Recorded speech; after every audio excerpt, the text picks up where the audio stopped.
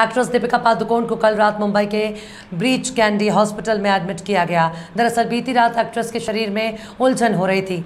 तबीयत ज़्यादा खराब होने की वजह से उन्हें हॉस्पिटलाइज करना पड़ा। हालाँकि अब एक्ट्रेस की तबीयत पहले से बेहतर बताई जा रही है। रिपोर्ट्स के अनुसार दीपिका सोमवार रात अच्छा नहीं महसूस कर रही थी, जिस वजह से उन्हें देर रात अस्पताल ले जाया गया। वहाँ पर दीपिका के कई टेस्ट हुए, जिसमें आज का पूरा दिन बीत गया। हालाँकि दीपिका की टीम की तरफ़ से अभी तक उनके ठीक होने की कोई ऑफिशियल इन्फॉर्मेशन नहीं आई है। हैदराबाद में फ़िल्म प्रोजेक्ट की शूटिंग के दौरान भी दीपिका की तबीयत बिगड़ गई थी। उन्हें हैदराबाद के कामिनी हॉस्पिटल ले जाया गया था, जहाँ डॉक्टर ने उन्हें एग्जामाइन किया। हालाँकि ट्रीटमेंट के बाद हार्ट रेट स्टेबल होने पर दीपिका दोबारा शूटिंग के सेट पर लौट गई थी।